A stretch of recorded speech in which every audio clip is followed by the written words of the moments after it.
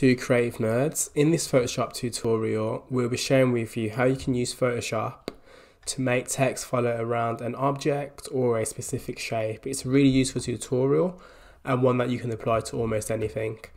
So we want to start off by selecting the pen tool. and we want to select in particular the curvature pen tool and we're simply just going to draw an outline around our football.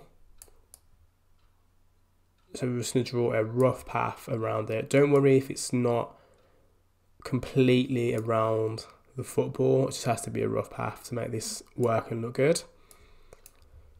So once we've done that, we're going to then select the type tool and it will create some text for us. From there, we're just going to increase the, the font size.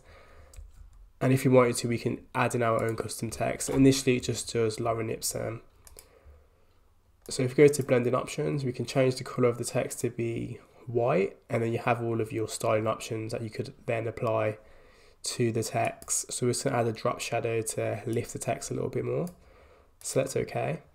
And even from there, we can then adjust it so it's a little bit more space around the football and the text. This is a very useful tutorial and one that I hope you can use in your future design projects. Thanks for watching and stay tuned to Creative Nerds for further quick tips on how to use Photoshop.